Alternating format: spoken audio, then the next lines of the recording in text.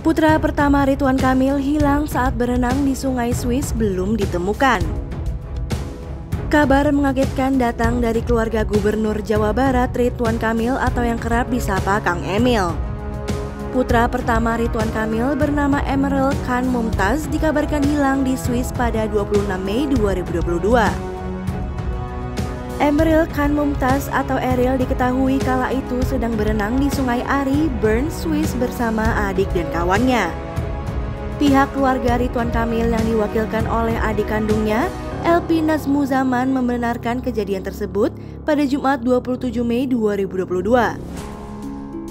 Bahwa benar anak pertama kakak kami, Ridwan Kamil yang bernama Emeril Khan Mumtaz atau biasa dipanggil Eril, mengalami musibah di Bern, Swiss pada 26 Mei 2022 siang hari waktu Swiss. Jelasnya dikutip dari Antara pada Jumat 27 Mei 2022.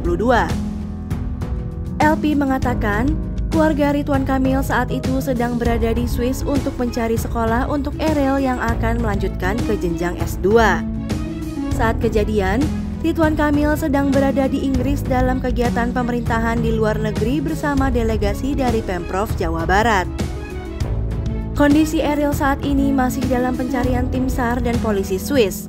Namun pencarian dihentikan sementara karena hari sudah mulai gelap dan rencananya akan dilanjutkan esok pagi. Hingga informasi ini disampaikan, pencarian sudah berjalan 6 jam mulai dari 26 Mei jam 23.00 waktu Indonesia Barat dan kami harap Eril dapat ditemukan segera dalam keadaan sehat.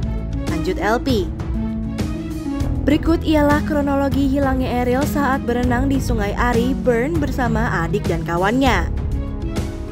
Saat ingin naik ke permukaan, Eril terseret arus sungai yang cukup deras yang sebelumnya sempat mendapat bantuan dari kawannya.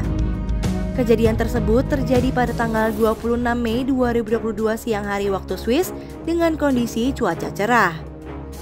Ridwan Kamil langsung menyusul ke Swiss setelah menerima kabar musibah tersebut dan saat ini telah bertemu dengan keluarga di sana. Kami berterima kasih atas perhatian dan bantuan dari pihak Kedutaan Besar Indonesia di Swiss maupun kepolisian setempat yang terus berupaya mencari keberadaan Emeril, ujar LP.